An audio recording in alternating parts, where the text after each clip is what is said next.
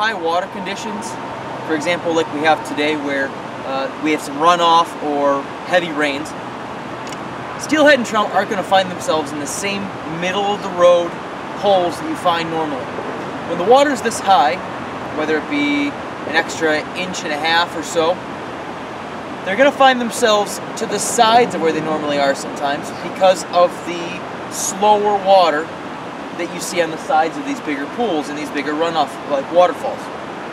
So today we're going to throw our nymphs generally, instead of right down the middle where they usually tend to hold, we're going to throw them to the sides and towards the tails of these pools instead.